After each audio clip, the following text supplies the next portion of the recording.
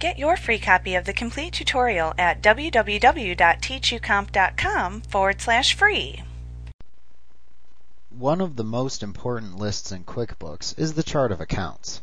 You can access this list by selecting Lists and then Chart of Accounts from the menu bar. The chart of accounts is a listing of all of the accounts available to use in your company file.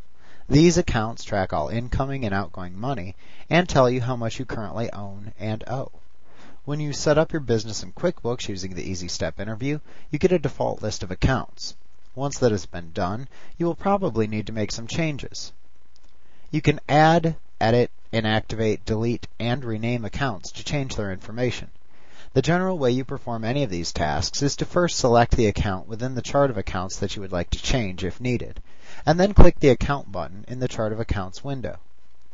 From the pop-up menu that appears, you can then select the desired command to perform. Handily, in any list that you can access from the Lists command in the menu bar, you can always rely on being able to click the button in the lower left corner to be able to perform the basic list management tasks. The button is always named the same thing as the list in which it appears. So, for example, the Account button is the one you click to perform list management in the chart of accounts. The Item button is the one you click when using the item list, and so on and so forth. For example, assume that you wanted to add a new savings account that you just opened for your company to the chart of accounts. First, open the chart of accounts window, and then click the Account button in the lower left corner. From the pop-up menu that appears, choose the New command. This will open the new account window where you will enter the account's information.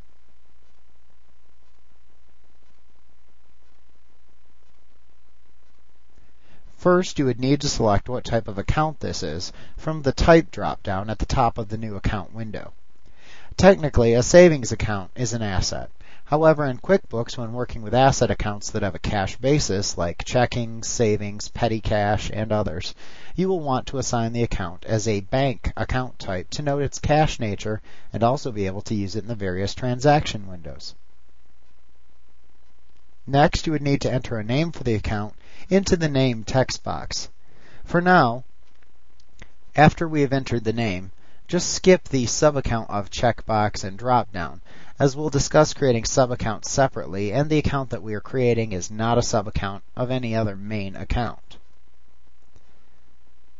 Now next, you can enter an optional description of the account into the description text box. If desired, you can also type the bank account number into the bank account number text box. You can then click the OK button to create the new account and close the new account window. Optionally, if you want to continue creating new accounts without having to close and reopen the new account window, you could click the Next button within the new account window to create the account and clear the new account window. You can then enter the next account that you want to create.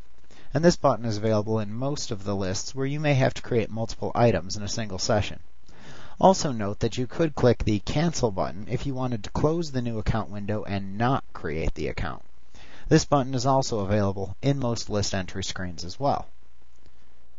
Another question that is often raised at this point is what should I enter for the opening balance when creating a new account? Actually, you only use this section of the new account window when creating accounts in your chart of accounts that had a balance as of the start date of your company entered when you created the company file during the Easy Step interview. If you're creating an account that did not have a balance as of your company file start date, then you simply skip this section. However, if you need to create an account that did have a balance as of the start date of your company file, you can enter the opening balance of the account as of the start date into the opening balance text box. Then you can select the start date from the As of Calendar selector. Then you can either click OK or Next to save the account.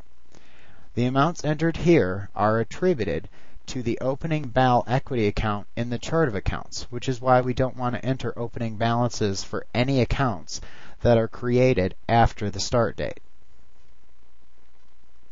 You can also create subaccounts of accounts within the chart of accounts.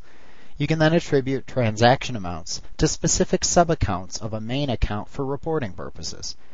For example, if you had an automobile expense account, you could create subaccounts of gas and maintenance repairs to easily show the different amounts spent on gas versus repairs and maintenance for company vehicles. You could also see the total amount spent on automobile expenses within a report. The balance of any account that also has sub-accounts is the total of all the transactions attributed to the main account, including all balances of its sub-accounts. You create a sub-account in the exact same way in which you would create any other type of account within the chart of accounts. Just ensure that you have the primary account for which you want the sub-account created first. The only difference when you are creating a sub-account versus a primary account within the new account window is that you check the sub-account of checkbox and then choose the primary account for which you want the account that you are creating to act as a sub-account. Note that sub-accounts must be of the exact same account type as their parent account. So for example, if we were going to create a gas sub-account for the automobile expense account, we could select the account, click the account button in the lower left corner, select the new command, and since we're creating a sub-account of an expense account, we're going to select expense from the type drop-down, type in the name for the account, check the sub-account of box, and then select the primary or main account. Then click OK to create the sub-account. Now, if you wish to edit the information associated with an account in the future, you can always edit the account to add to or change the account information. In this case, you would first need to select the account that you want to edit within the chart of accounts.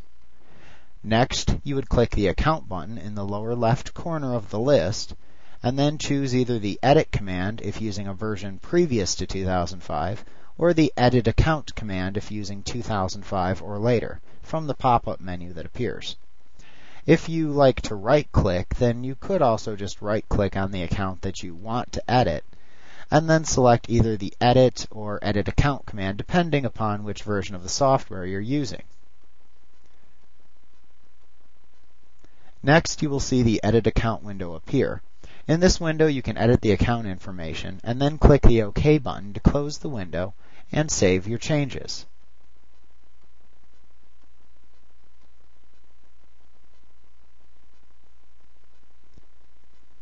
If you accepted the default income and expense accounts when creating your company file, you may also have accounts that you would never use listed in your chart of accounts. If you have an account that you would like to delete shown in the chart of accounts, you can delete it, but only if there are no transactions associated with the account. Once there are transactions assigned to an account, you can no longer delete the account, as that would ruin the financial information. You would first need to remove the transactions from the account either by reassigning each transaction in the account to other accounts, or by deleting them entirely if incorrect. After there were no transactions left in the account, it could then be deleted. To delete an empty account shown in the chart of accounts, first select the account. Then click the Account button in the lower left corner and choose Delete Account from the pop-up menu that appears. In versions of QuickBooks previous to 2005, the command was simply delete versus delete account in the pop-up menu, but it functions the same way. After selecting the delete command, you will need to click OK in the message box that appears in order to permanently delete the selected account.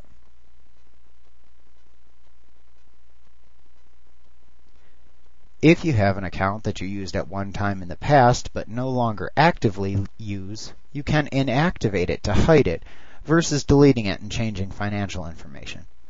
When an account is inactivated, it will not appear by default in your chart of accounts. However, the information is retained for reporting in QuickBooks. You can actually make items in almost all of your lists inactive to hide items you no longer use. In the chart of accounts, you can inactivate an account by simply selecting the name of the account to inactivate.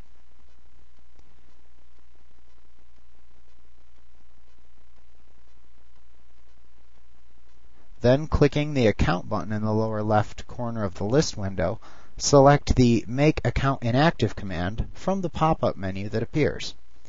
The information will then be hidden from view within the list. We will examine making list items inactive and reactivating them in more detail in a later lesson. Like what you see? Pick up your free copy of the complete tutorial at www.teachucomp.com forward slash free.